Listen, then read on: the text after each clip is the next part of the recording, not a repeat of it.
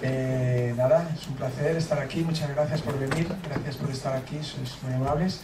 Os presento a dos grandes actores, José Sacristán, María Valverde, David Trueba y, y nada, estamos abiertos a vuestras preguntas eh, en todo momento.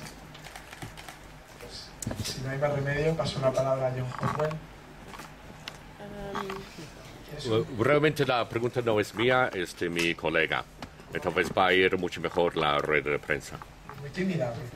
Timidísima.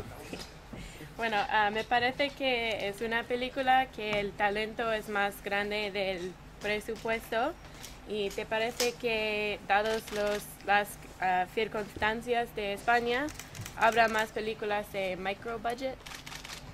Es una buena pregunta. En, en este caso no, no, no es una película que, que tenga el tamaño por, por las circunstancias económicas. Una película que escribí cuando ya se empezaba a hablar de la crisis, pero no, no tenía una relación, digamos, directa, su, su envergadura con, con la crisis. ¿no? Simplemente la película es así, estaba escrita así, había que hacerla así.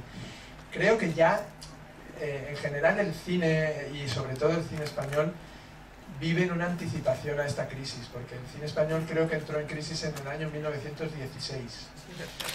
Y, y entonces eh, quiere decir que ha vivido siempre en presupuestos muy pequeños, en posibilidades propagandísticas muy pequeñas. Es un país que, salvo excepciones, cada año el resto de, hay una gran cantidad de películas. Y desde la irrupción del vídeo y de las posibilidades de rodar más barato, en España se sigue insistiendo muchísimo en que se hacen muchas películas y lo oigo siempre a gente autorizada decirlo.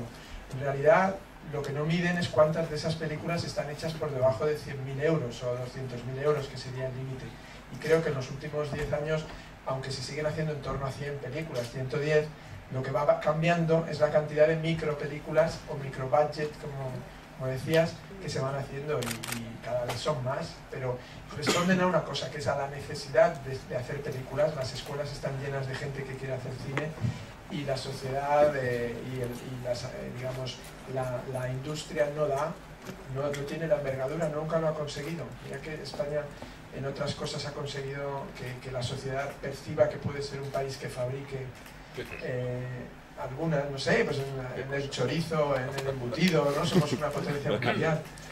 Pero tengo la sensación de que en el cine siempre en España hay que trabajar un poco por, por debajo de las, de las posibilidades. Con lo cual, ahora que dicen que hemos vivido por encima de las posibilidades, yo siempre digo, bueno, menos el cine, que ha vivido siempre a las posibilidades reales, según parece. ¿no? Pero vamos a ver, sé.